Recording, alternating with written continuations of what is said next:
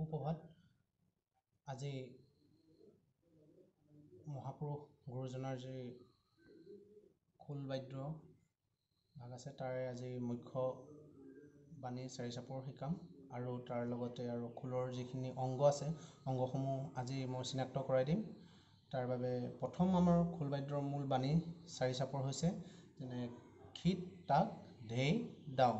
তাৰোপৰি মই প্ৰথম খোল বাদ্যৰ যিখিনি অংগ আছে অংগসমূহ প্ৰথম চিনাক্ত কৰাই লৈছোঁ। তাৰপিছত আমি কি কিদৰে মূল চাৰি চাপৰ বজাব পাৰি তাৰ বিষয়ে মই দেখাই দিম। প্ৰথম হৈছে এইভাগ খোলা বা ডিমা বুলি কোৱা হয়। বাওঁ ছাইডৰ এই ছাইডক কোৱা হয় বায়াঁ এই ছাইডক কোৱা হয় ডাইনা। তাৰপিছত ছালৰ ক্ষেত্ৰত এইকণ কয় কাটনি ছাল বুলি কোৱা হয়। কাটনি ছাল মাজৰ তালি ঘোণ। তাৰপিছত দোল বা ৰছী বুলি কোৱা হয়। টিকনি বুৰতি তাৰপিছত এই ডাঙৰ অংশটোক কয় গৰ্ভমণি তাৰপিছত ইয়াত সৰু সৰুকৈ থকা যিখিনি চিন আছে সেয়াক কয় ৰূপহী তাৰপিছত এই ভাগক কোৱা হয় মলুৱা। ইয়াৰ উপৰি ইয়াত যিটো ৰং কৰা হয় কালাৰ কৰা হয় খোল খোল ভাগত তাক হেঙুল হাইতাল বুলি কোৱা হয়। এতিয়া আমি খোল বাদ্যৰ যি মূল বাণী চাৰি চাপৰ কি ধৰণে বজোৱা হয় তাকে দেখাই দিছোঁ। বায়াঁ ছাইডৰ মাজৰ অংশত হাতৰ আঙুলিৰে চেপি ধৰিলে খীট ক'ব তাৰপিছত কাষৰ অংশত বজালে ঢেই ঢেই শব্দ হ'ব মাজৰ অংশত চেপি হাতৰ চেপি ধৰিলে খীট ক'ব তাৰপিছত কাষত বজালে বায়াঁ ছাইডত ঢেই ক'ব। পুনৰ ডাইনা ছাইডৰ মাজৰ অংশত চেপি ধৰিলে তাত ক'ব তাৰপিছত কাষত অংশত বজালে ক'ব টাও তাত এইবাৰ সম্পূৰ্ণকৈ আকৌ এবাৰ বজাই শুনাই দিছোঁ। মাজৰ অংশত বজালে চেপি ধৰিলে খীট কাষৰ অংশত বজালে ঢেই তাৰপিছত ডাইনা চাইডে মাজত তাত টাও এতিয়া আমি খোলৰ বোলকেইটা বজাই দেখাম। এবাৰ খীট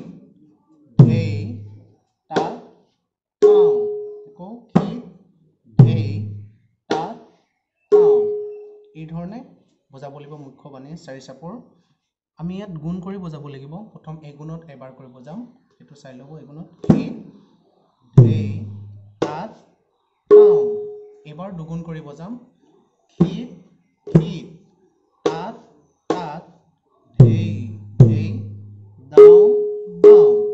এইধৰণে আমি দুগুণ তিনিগুণ চাৰিগুণ কৰি বজাব লাগিব।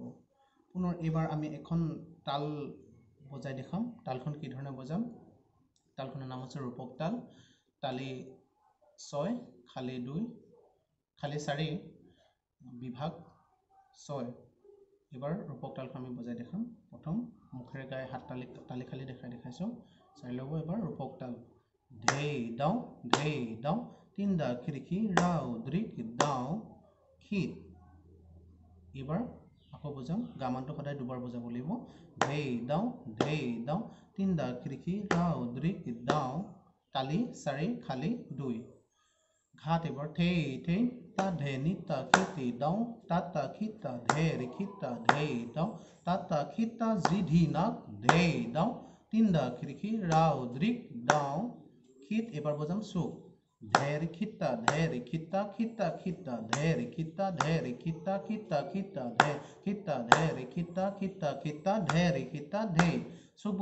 পুনৰ আকৌ আমি গামান ঘাট অংশলৈ বজাবলৈ যাব লাগিব। ঘাট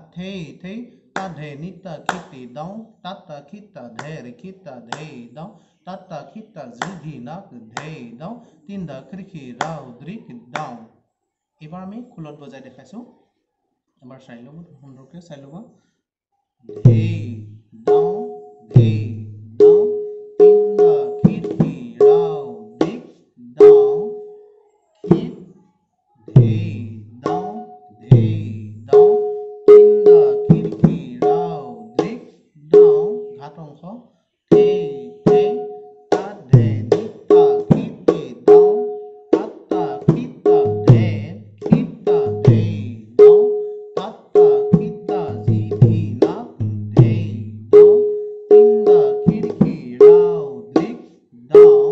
দাওঁ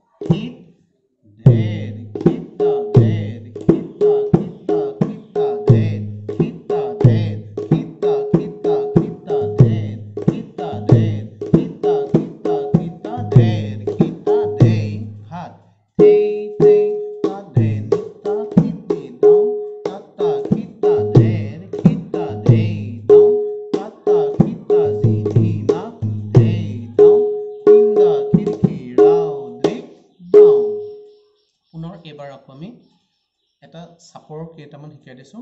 চেপা চাপৰ মেলা চাপৰ বন্ধা চাপৰ ৰগৰ আৰু টোকৰ চাপৰ। চাপৰকেইটা সুন্দৰভাৱে চাই ল'ব। চেপা চাপৰ হৈছে চেপি পেলাই যি চাপৰ বজোৱা হয় তাকে চেপা চাপৰ বুলি কয়। এই ধৰণে আমাৰ তাত শব্দটো হৈছে চেপা চাপৰ তাত। তাৰপিছত মেলা চাপৰ হৈছে টাও। তাত চেপা চাপৰ টাও মেলা চাপৰ। এইবাৰ আমি সংযুক্ত চাপৰ দেখাম। সংযুক্ত হ'লে দুইখন হাত একেলগে লগ লাগি এটা শব্দ বজোৱাকে সংযুক্ত চাপৰ বুলি কয়। ঠেই ঠেই একেটা টাইমতে যিটো শব্দ হয় যিটো শব্দ ধ্বনি বা ধ্বনিৰ সৃষ্টি হ'ব সেইটোকে সংযুক্ত চাপৰ বুলি কয় ঠেই ঠেই তাত আৰু শীত বজালে ঠেই ঠেই শব্দ হ'ব। এইটো হৈছে ঠেই ঠেই এইবাৰ আমি বজাইছোঁ ৰগৰ খিৰখিৰ আৰু গিৰগিৰ। গিৰগিৰ খিৰখিৰ খিৰখিৰটোৰ মাজত বুলনি বুলনি চাপৰ বুলি কোৱা হয় ৰগৰ বুলি কোৱা হয় তেনে হাতটো বুলাই থকা কাৰণে বুলনি চাপৰ বুলি কোৱা হয়।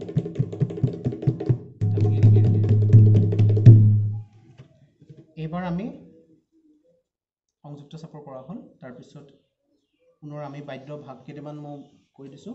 বাদ্য চাৰিটা ভাগত ভগোৱা হৈছে। এটা হৈছে তৎ বাদ্য ঘন বাদ্য সুশীৰ বাদ্য। তৎ বাদ্য হৈছে আন এটা হৈছে অৱনদ্ধ বাদ্য। অৱনদ্ধ বাদ্য হৈছে আমাৰ যি বাদ্য চামৰাৰে আবৃত তাক হাতৰ আঙুলি বা মাৰিৰে আঘাত কৰি বজোৱা হয় তাকে অৱনদ্ধ বাদ্য বুলি কোৱা হয়। যেনে হৈছে খোল মৃদং এইখিনি নাগাৰা এইখিনি হৈছে অৱনদ্ধ বাদ্য। তৎবাদ্য হৈছে তৎ মানে হৈছে তন্তিযুক্ত তাঁৰযুক্ত যি বাদ্য হয় বজোৱা হয় তাকে তৎবাদ্য বুলি কোৱা হয়।